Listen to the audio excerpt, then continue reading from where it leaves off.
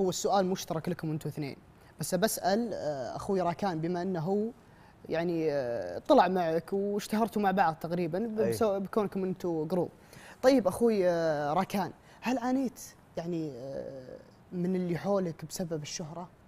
يعني قالوا لك يا أخي جاك تنمر جاك كلام سلبي ومحطمين لك بسبب الشهرة. كيف كانت يعني ردة فعلك؟ هو جاني بس أنا ما أعتبره تحطيم ولا. أعتبره تهجم. اخذه من باب مزح. لأنه آه، أعرف في النهايه ان الشخص هذا اللي يكون قايل لي ما هو ما هو من قلبه. هو كذا شخص وأعرفه من زين. ويعني ما قصدك إنه محارب وزي كذا؟ لا الحمد لله.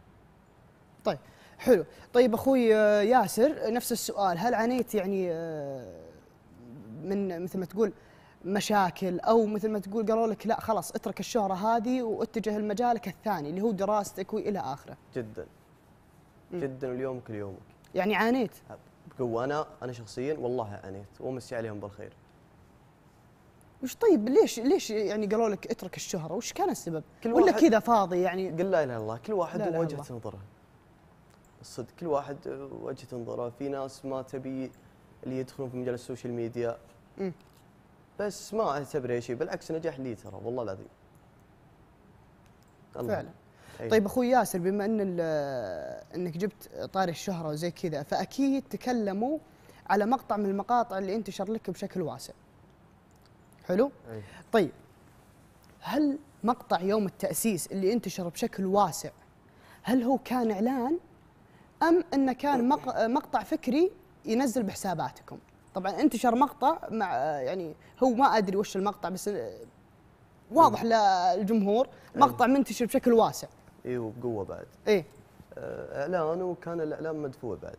إعلان كان. إعلان ومدفوع بعد. لأن الناس يحسبونه آه، فكري. إيه. لا إعلان ومدفوع. وفي السوشيال ميديا ب- تجيك إعلانات تجيك أشياء معرض لكل شيء.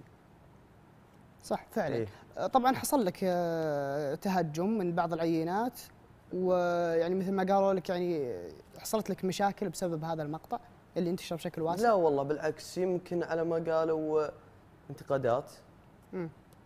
ودامها اعلان مدفوع رزقي المقطع انحذف طبعا. اي ترى مو موجود في التواصل الاجتماعي بالمرة.